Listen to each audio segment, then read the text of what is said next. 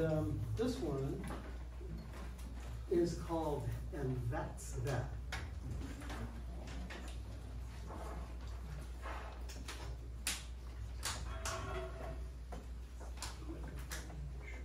Of.